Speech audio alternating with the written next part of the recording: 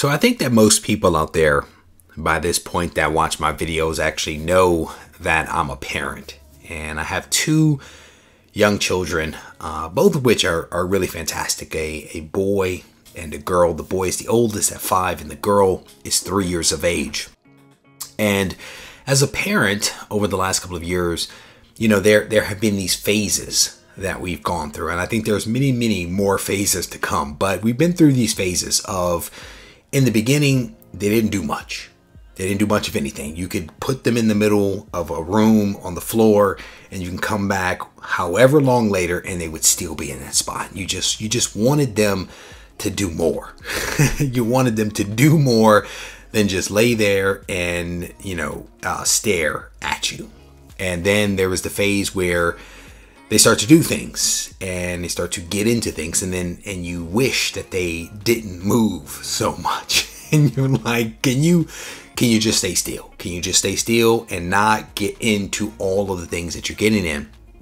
And then as you know as they continue to get older you know there are these various phases where you you wish that they were this or you wish that they were that. And um, it's just been very very interesting. And and we are we're in a phase now with with the boy who who just turned five in december we're in this phase with him where he is now in something called i think it's tk which is like a a pretty a pre-kindergarten class that is essentially preparing him for kindergarten. And he's actually going to be going to this uh, really cool school uh, come August. And so he's in there where he's it's basically a transitional time for him.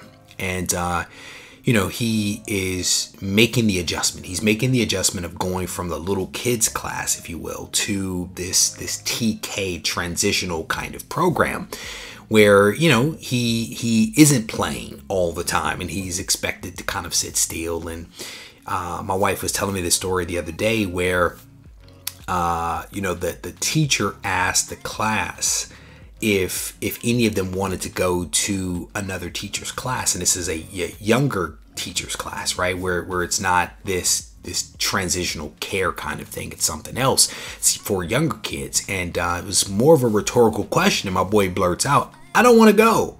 You know, he he is still trying to make this transition of you know, of clearly recognizing rhetorical questions, right? But also learning how to to control his impulses and to control his behavior. And and we are we're working with him on these things. And you know, he he does these things now, or and I kind of ask him these questions of like, why are you doing that? Why are why are you pulling all of the petals off of the flower?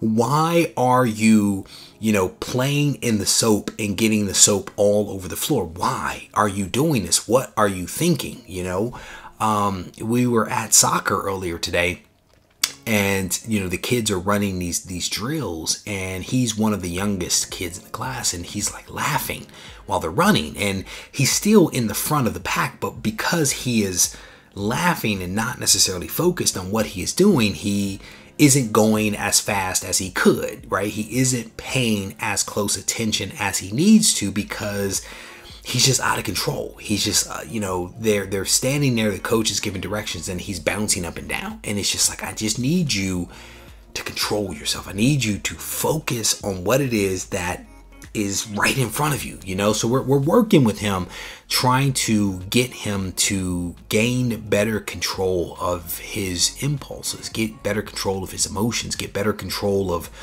what it is that he is doing, you know? And by now you're probably uh, wondering if if you clicked on the right video. probably like, what is this video? What is this that I am listening to right now? Where is he going? You know, um, as I examined the behaviors of my boy, you know, over these last couple of, of weeks and, and maybe, you know, two months or so, I could not help but draw some comparisons to to our hobby and, and specifically to to me and to my behaviors and how I approached the hobby when I when I came back into it after a very very long hiatus. You know, when I came back into the hobby, I was pretty much like a like a five year old. I was like a five year old. I had no control. I had no focus. I was everywhere. I was bouncing up and down, and I was just spending money. I was spending money just about on any and everything. If, if it looked hot, if it looked good, if, I mean, loosely looked good, right? If it were a book that was in front of me, I was buying it. I was just, I did not have focus. Did not have focus. I was pulling the petals off of the flower for no good reason, without any explanation other than my impulse told me to do so, therefore I did it. I was not thinking about the consequences of my actions. I was not thinking about the repercussions of what would come next. I was simply doing what felt good and what was there and, and, and I, I, I thought about it, so therefore I did it. That book popped up, I bought it. I found it in the long bin, I bought it somebody said that there was a chance that something could happen to this character at some point, I bought it. I did it. I did not have focus. I did not have control. I was just doing whatever it was that struck my fancy. And thankfully, I was able, after making lots of mistakes and wasting a lot of money, I was thankfully able to gain some semblance of control of my behaviors and, and my actions.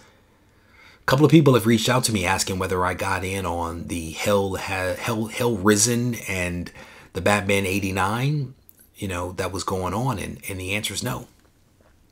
The answer was no. I, I did not get in on that. I did not attempt to buy any, did not look into it, didn't do any of it uh, because there are things that I am focused on that I am trying to accomplish that that have yet to be revealed to anybody uh, other than you know my wife. Um, there are things that I am working on that require me to be focused, and it requires me to block out all of the outside noise.